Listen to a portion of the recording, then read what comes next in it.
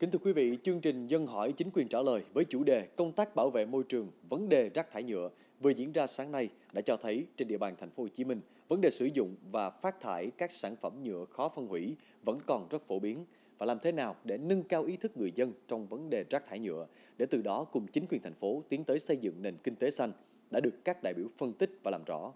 Chủ tịch Hội đồng nhân dân thành phố Hồ Chí Minh Nguyễn Thị Lệ tham dự chương trình. Thời gian qua, thành phố Hồ Chí Minh đã chú trọng triển khai nhiều hoạt động liên quan về giảm phát thải, tái sử dụng, tái chế chất thải nhựa, cụ thể hóa một số chỉ tiêu và nâng cao nhận thức về tác hại của chất thải nhựa đối với môi trường. Dù vậy, trên thực tế vẫn còn nhiều khó khăn cần phải tháo gỡ.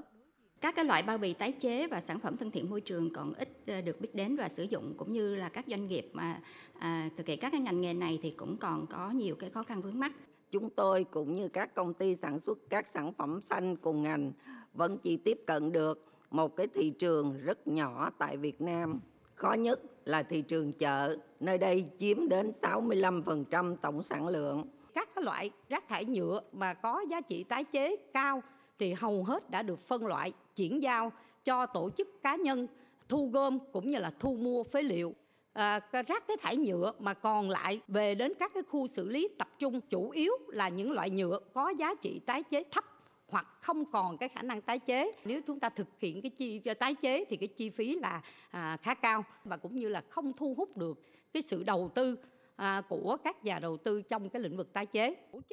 Các giải pháp cụ thể trong tương lai để phát triển hạ tầng dịch vụ thu gom, tái sử dụng, tái chế chất thải nhựa theo mô hình 3T, tiết giảm, tái sử dụng, tái chế đều cần theo hướng phát triển kinh tế tuần hoàn. Đối với các doanh nghiệp vừa và nhỏ trong lĩnh vực thu gom, tái chế, thành phố đang và sẽ có nhiều chính sách hơn để khuyến khích, hỗ trợ. Các sở ban ngành như Sở Công Thương, Sở Du lịch, Sở An toàn vệ sinh thực phẩm, Hội Phụ nữ cũng có nhiều chương trình đồng hành và khuyến khích các đơn vị tổ chức trực thuộc hướng đến không sử dụng sản phẩm nhựa một lần và bao bì nhựa khó phân hủy. Cái vấn đề đặt ra hiện nay là làm sao chúng ta phải thu đúng và thu đủ cái phí bảo vệ môi trường à, đối với các cái cơ sở sản xuất kinh doanh cũng như là các doanh nghiệp à, sản xuất các cái túi lông khó phân hủy. Tới đây ờ, tháng 12 này là với cái chương trình kết nối cung cầu của thành phố Hồ Chí Minh chúng tôi sẽ tăng cường kết nối cho cái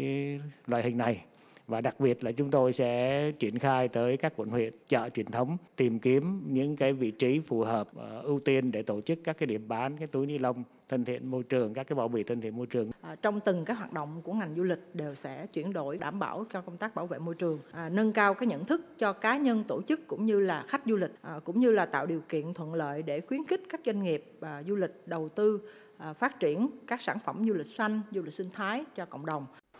với những nỗ lực từ nhân dân và chính quyền địa phương, công tác bảo vệ môi trường liên quan đến rác thải nhựa trên địa bàn thành phố đã xuất hiện một số điểm sáng điển hình. Đây cũng là động lực cho toàn thành phố tiến tới mục tiêu sau năm 2025 không lưu hành và sử dụng sản phẩm nhựa sử dụng một lần, bao bì nhựa khó phân hủy sinh học.